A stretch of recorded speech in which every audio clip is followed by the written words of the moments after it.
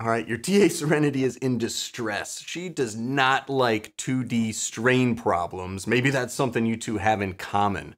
But you don't have to be that scared of them. As long as you're not scared of triangles.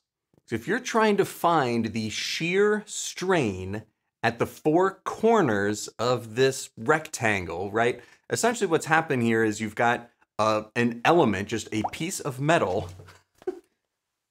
All right, yeah, she wants to get the heck out of here. She wants nothing to do with this problem. But I'm telling you, it's not that bad.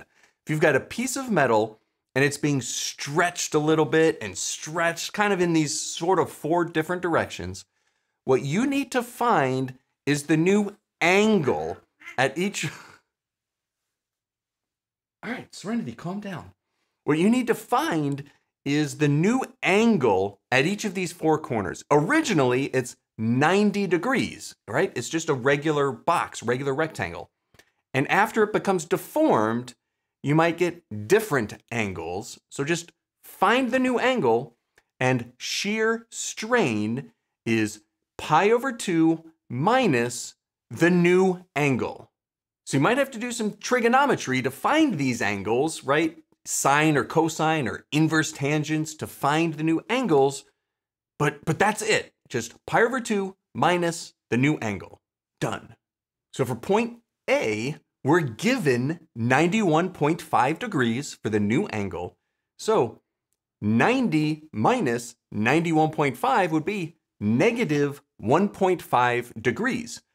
But strain has to be measured in radians.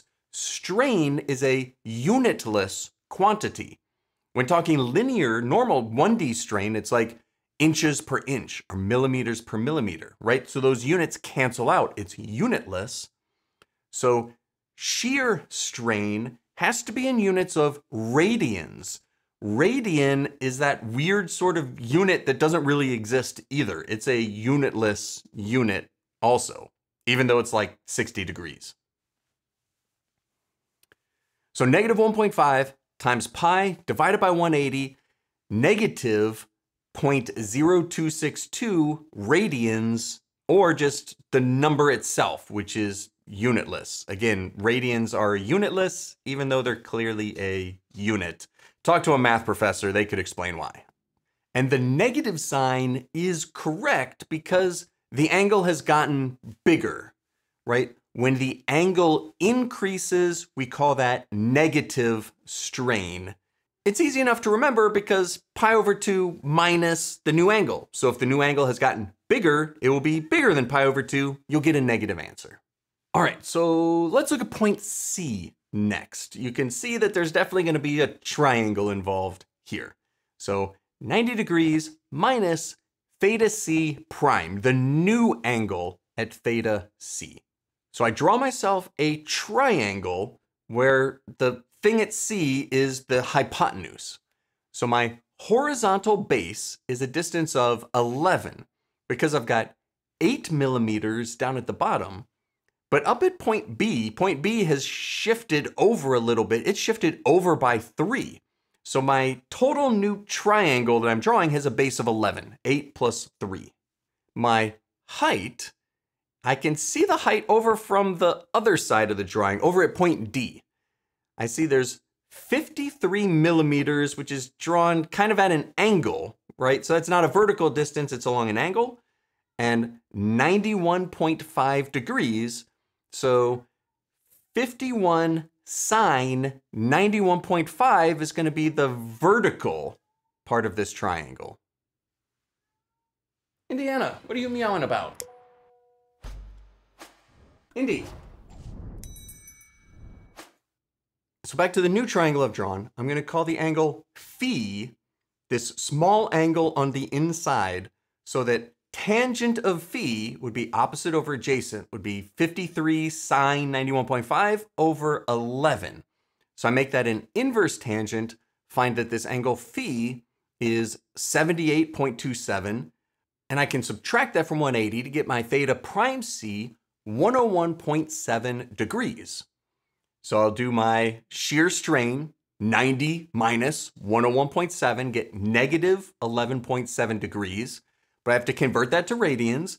times pi divided by, by 180, uh, negative 0.2, would you call this radians or just box it unitless? So it's still negative, which is good because theta c is bigger than 90 degrees, so I should get a negative answer for shear strain. Oh, now you may be thinking, ah, we're only halfway through the problem. We still have to find the shear strain at uh, B and D, also the top two.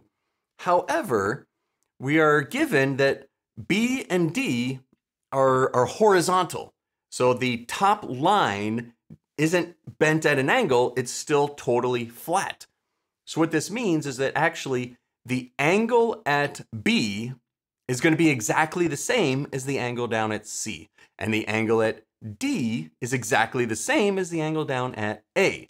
So actually, shear strain at D will be the same as the value we already found uh, at A, and the shear strain at B will be exactly the same as value we already found at C. Had that not been at an angle, then we would have had to draw a few more triangles and done more inverse tangents and inverse sines or Pythagorean theorems to solve for those angles. But again, shear strain, just 90 minus the angle, draw some triangles, solve for the angle, no problem, easy day. And I hope you learned something from this video. If so, and you want to do me a tiny little indie bitty favor, go ahead and hit the subscribe button. It's a stupid vanity metric. I know nobody cares about subs, but I still like seeing the number go up a little bit. Some good positive reinforcement for me. So I would appreciate it a ton. Have a great rest of your week. Have a great weekend. And I hope you do awesome on your next test.